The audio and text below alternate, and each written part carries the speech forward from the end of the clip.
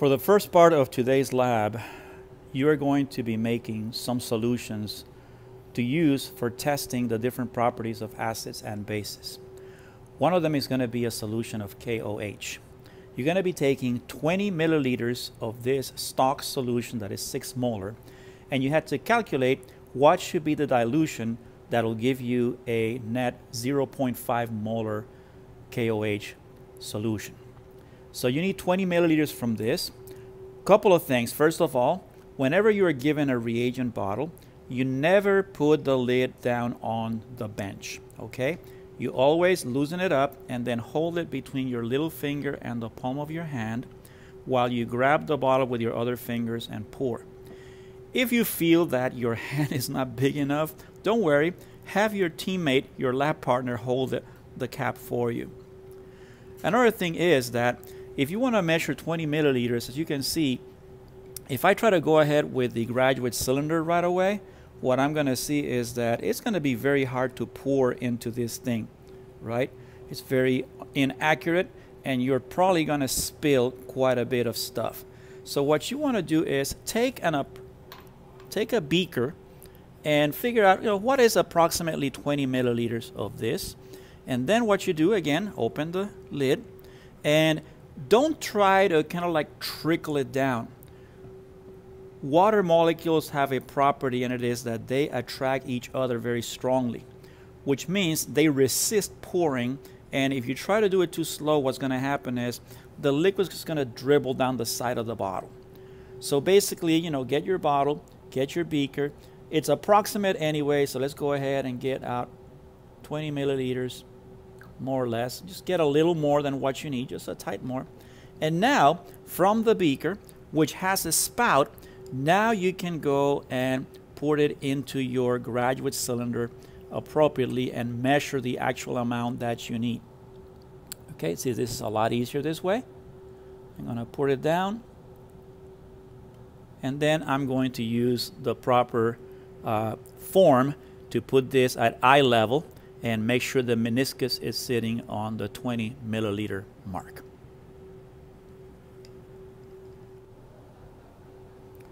This is going to be our litmus paper test. Remember that litmus paper is a paper that's coated with a chemical that changes color in the presence of either acid or base. We are operating under the uh, idea that pink litmus paper will turn to blue in the presence of a base, and blue litmus paper will turn to pink in the presence of an acid. So let's start here by putting in sodium chloride. And the idea here is you're going to have your sample in a test tube and you're going to use a glass stir rod and just touch the surface of the uh, paper to make a little dot. So I'm going to start out with sodium chloride, which should be completely neutral. I'm going to touch it here.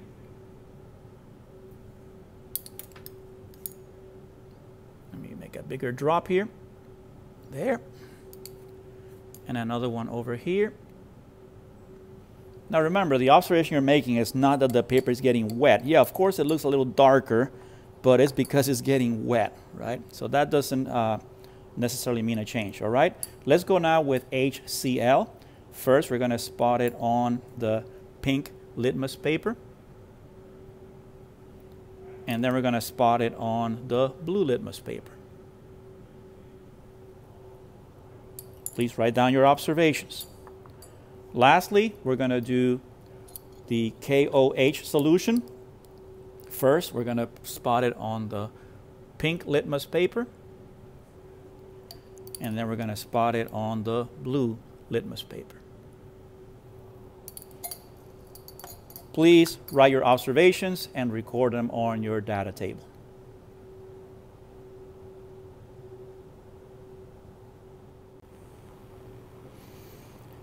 In this part of the activity, we're going to do what are called flame tests. As we will learn later in the semester, the atoms of substances have electrons that are sort of located or arranged in different energy levels. So sometimes they're able to absorb energy and switch levels which when they return to the original level, they release that energy again in the form of light of specific frequencies. And so, because different atoms are arranged in different ways, you can sometimes use the color of that emission of light to identify the substances. For this part of the experiment, we're going to use little wood splints that have been moistened in water so they will not burn. And if I simply put the moistened thing here, you'll see that there's no change to the flame in the, uh, in the water. So the water by itself does not cause any changes in here. However, let's see what happens if instead of water I put a little salt in here, sodium chloride. Let's see what happens to the flame now. As you can see, it acquires a very bright yellow color. And that is a flame test for sodium ions. Let's see what happens with something like strontium chloride instead. Let's see what the ions of strontium will do. And I have some in here in this little sample here. And what we get is a, let's see if we can get it. Oh, there you go. That's like a red flame. Sorry that in my camera it doesn't show very well, but it's mainly a kind of like a red flame. Sorry, it's too bright there. I'm going to make it just close enough. You can see the red flames. There you go. So red color.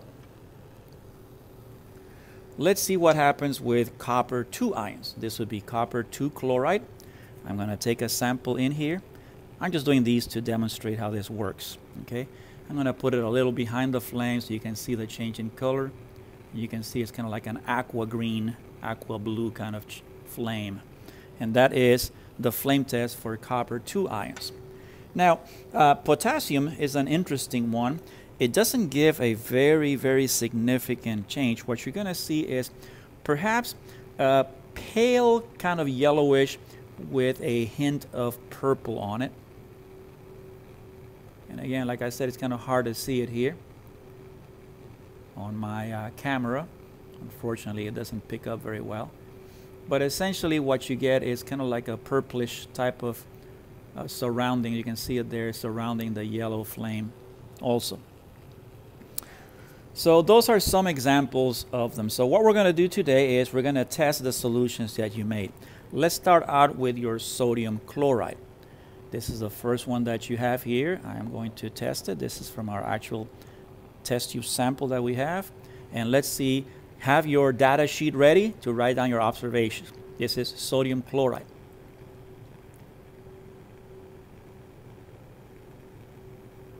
Okay, hope you wrote that down. Now let's try our uh, hydrochloric acid or HCl solution. Again, I'm going to grab a sample here so I can't figure out how to show you this and let's see what happens. You can see there's no, well, I'll let you observe what you observe there. Sorry about that. And now we're going to do the KOH. And remember, in this case, we're obviously testing for the cations. In this case, that would be the potassium. So here is my KOH. And let's see what I get.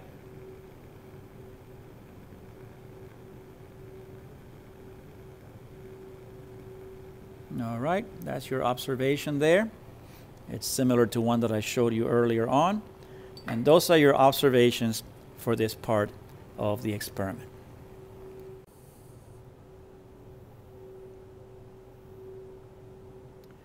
In this part of the experiment, we're going to be testing the response of our three solutions to an indicator. The indicator that we're going to use is called phenolphthalein and it is a chemical that changes color when it's exposed to a basic solution. So in the presence of something that's neutral or acidic, it doesn't change colors, but in the presence of a basic solution, it turns to a neon pink color. So we're going to add a drop, two drops of phenolphthalein to each tube. First, here is NaCl, Next is HCl. And last is KOH.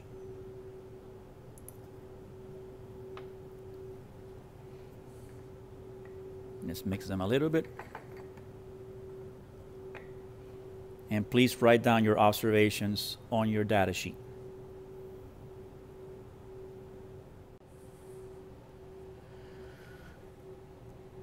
Okay, after you have finished with today's activity, you will have some residual HCl and some residual KOH solutions. The HCl, please uh, ask your instructor for directions. Uh, we may be collecting it back, so there may be a container for you to pour it back in because we can use it at some other time or in some other classes. Now, the KOH that you made, you calculated it to be approximately 0.5 molar. In the next part of this activity, in part B, we're going to learn techniques to determine the actual molarity of that solution. So we need to save it for then. So uh, grab a bottle with a stopper that fits it, and then take your residual KOH. We're going to store it in there, so carefully put it back in there. And we're going to store this on the shelves.